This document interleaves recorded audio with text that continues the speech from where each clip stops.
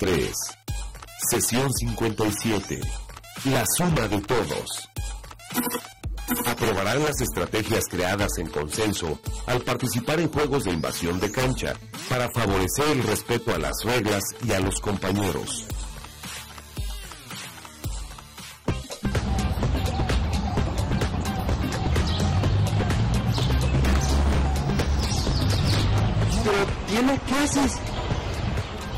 Digo que debemos dejar un metro. Mira, si lo dejamos así, los alumnos no van a tener suficiente espacio para... Está bien, como quieras. Pero Diana,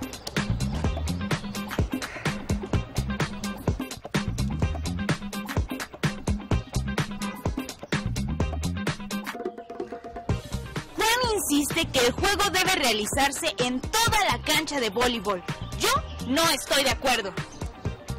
Bueno, es que no creo que haya ninguna necesidad de dejar este espacio. Los alumnos podrían confundirse. No van a confundirse, porque delimitaremos esa área como zona de puntuación. Pero es que no hay ninguna ne- En nuestra sesión de hoy vamos a poner en práctica nuestra capacidad para llegar a acuerdos. ¿Están listos? Oye, Diana, espera.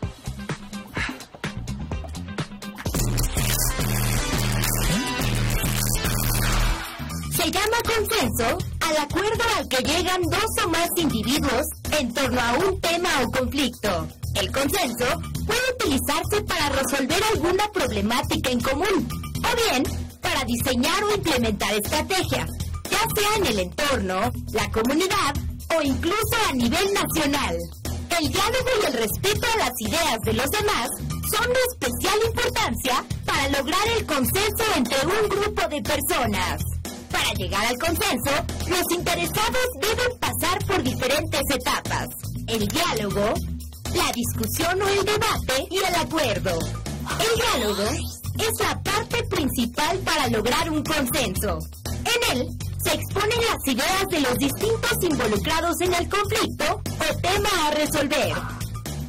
El respeto a las ideas expresadas por los demás es fundamental para la clara exposición de estas. Establecer un diálogo en un ambiente de respeto ayuda a los participantes a sentirse relajados y expresarse de mejor manera. En ese momento, es importante recordar que a todos nos gusta escuchados y tomados en cuenta en una discusión. Una vez que se han expuesto las ideas claramente, los integrantes o involucrados deben debatir de manera respetuosa los pros y los contras de cada una de ellas. En ese momento, los involucrados están en condiciones de llegar a acuerdos y, de ser necesario, distribuir tareas de manera individual o colectiva. Es importante preguntar si todos resoluciones a las que se ha llegado y si están claros los objetivos y tareas. Si todos los involucrados contestan de manera afirmativa, eso querrá decir que se tiene un consenso.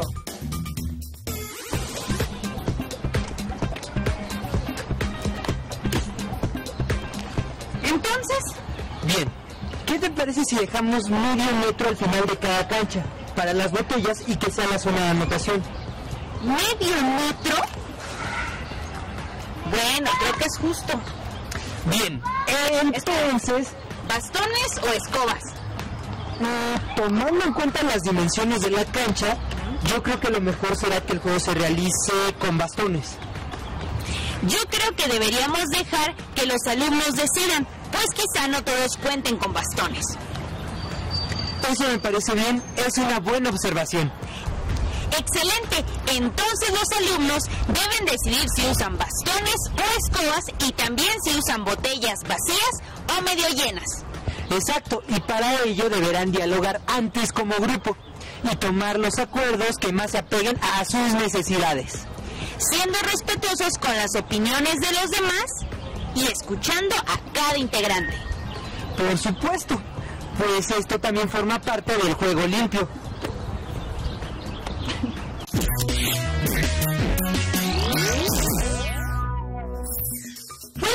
O fair play es la expresión que se utiliza para definir un partido que se caracteriza por un comportamiento de respeto y fraternidad entre todos aquellos que participan en una competencia deportiva.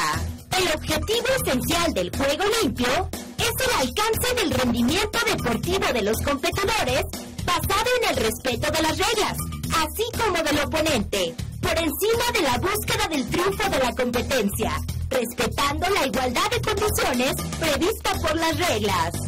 El fair play se remonta a Grecia en el año 776 a.C., con la creación de los Juegos Olímpicos de la Antigüedad. Hoy, forma parte de uno de los principios fundamentales que sustentan la Carta Olímpica. Sus valores éticos y morales se inspiran en el espíritu olímpico. La interpretación del término fair play, que significa juego justo, tiene como esencia el respeto a las reglas escritas, pero también a las no escritas, es decir, aquellas de carácter ético y moral que en ellas subyacen. Se basa en el principio de igualdad de condiciones en la competencia y fundamentalmente en el profundo respeto al ser humano, sea cual fuere su función en el acto de la competencia deportiva y en el entorno en que ésta se gesta y se desarrolla. Bien, ya estamos de acuerdo. Por lo que vamos ahora al juego de hoy. Sí, se llama un juego veloz. Así es, y se juega en un espacio con las medidas aproximadamente de una cancha de voleibol. Los implementos que necesitan son una escoba o bastón, como lo decidan, una pelota mediana, una botella de plástico por equipo y un paliacate por cada participante. El paliacate se coloca a la cintura por la espalda. Para un juego veloz se requieren dos equipos de cinco integrantes. A cada lado de la cancha, en la zona de puntuación, se coloca una botella grande de plástico como esta. Puede estar vacía o tener un poco de agua. Esto hará más interesante el partido.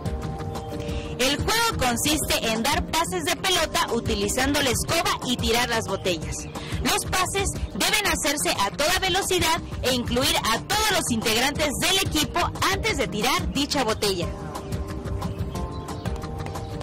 Si un jugador logra quitarle el paliacate de la cintura a un adversario al momento de lanzar para tirar la botella, el punto no cuenta y la pelota pasa al equipo contrario.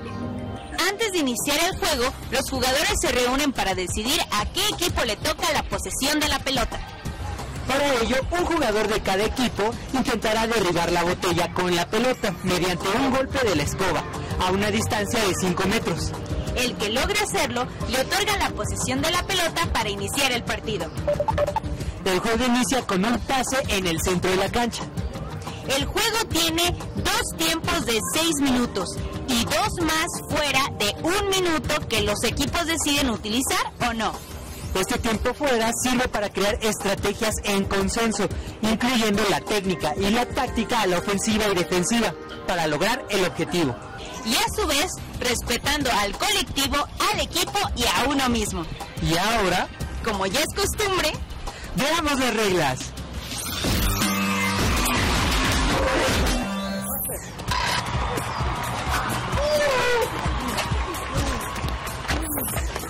Los jugadores deberán haber tocado la pelota con el bastón o la escoba al menos una vez antes de intentar tirar.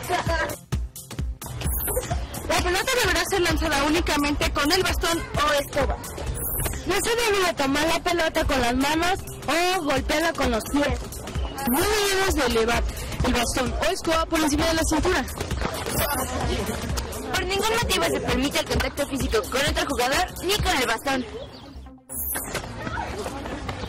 Solo se debe quitar el paliacate al adversario al momento que intenta derribar la botella.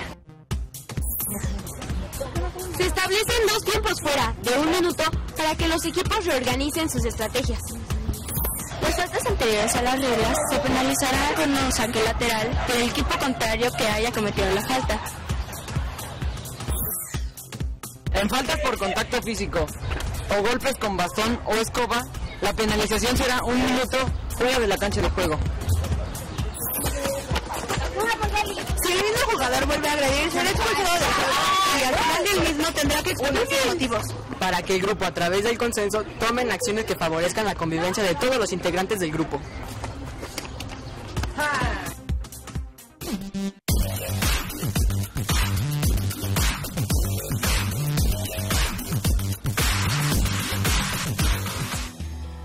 Bienvenidos. Nos encontramos reunidos para llevarles el encuentro de un juego veloz. Entre el equipo azul contra el equipo rojo. Veamos las alineaciones. Por el equipo azul tenemos a Shanat, Diego, Alejandra, Toño y Magali. El equipo rojo lo integran Fátima, Isaac, Shael, Giovanni y Rodolfo. Diego y Rodolfo, representantes de cada equipo, realizan un tiro para derribar la botella y así decidir quién inicia el partido. Muy bien, el tiro de Diego fue certero, por lo tanto el equipo azul tendrá la primera posesión de la pelota. Los equipos toman sus posiciones para iniciar el partido. Y aquí está el primer pase. Toño para Diego. Diego pasa para Shanat que tiene que quitarse la marca de Shael. Shanat devuelve para Diego. Diego atrás para Alejandra. Alejandra la pierde y Giovanni recupera para el equipo rojo. Giovanni pasa para Shael. Recuerden que todos los integrantes del equipo deberán tocar esa pelota antes de intentar tirar la botella. Shael para Rodolfo, Rodolfo para Shael, Shael pasa para Isaac, Isaac para Fátima, que está muy lejos para intentar un tiro a la botella. Fátima Giovanni, Shael se mueve para buscar desmarcarse, Shael recibe, Shael, Shael, tiro, punto para el equipo rojo. Es turno para Shanat que viene a sacar por el equipo azul. Shanat para Diego, Diego para Alejandra, Alejandra para Toño, que casi la pierde. Toño para Magali, Magali está marcada por Isaac y Giovanni, que quieren recuperar la pelota. ¡Pero qué habilidad! Magali ha logrado sacar un pase magnífico para Toño, que está en posición de tiro. Toño finta, Toño tiro y... ¡Cerca! Esa pelota ha pasado muy cerca de la botella. Seguimos 1-0 el marcador. El equipo rojo en saque de meta. Isaac al saque. Pasa para Giovanni. Giovanni la recibe. Está completamente desmarcado. Envía donde está Fátima. Fátima para Rodolfo. Rodolfo recibe de forma complicada. Alejandro y Senat lo marcan cerrándole el paso. Rodolfo trata de mantener la posición de la pelota. ¿Pero qué pasa? Rodolfo ha caído al piso y parece que es falta de alguna de las chicas. Veamos la repetición. Sí, ha sido una falta evidente pues Shanat golpeó con la escoba los tobillos de Rodolfo. Y recuerden que no está permitido hacer contacto físico. Así que Shanat se va sancionada un minuto fuera de la cancha.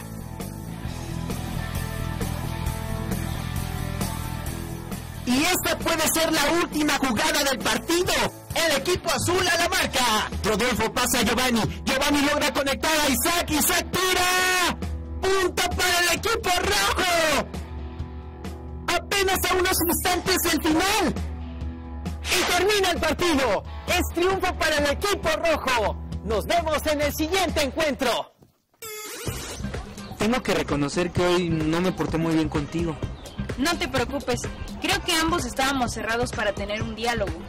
Sí, no escuchar a los demás siempre trae este tipo de problemas. Por eso, les recomendamos estar abiertos a las propuestas y comentarios de los demás. Y entre todos llegar a acuerdos que favorezcan el respeto entre compañeros. Un acuerdo por los integrantes de un equipo, comunidad o grupo, alcanzando y respetando el consenso de sus integrantes. ¿Por qué creen que las decisiones tomadas en consenso favorecen el respeto? ¿Qué se necesita para diseñar estrategias y aprobarlas en consenso?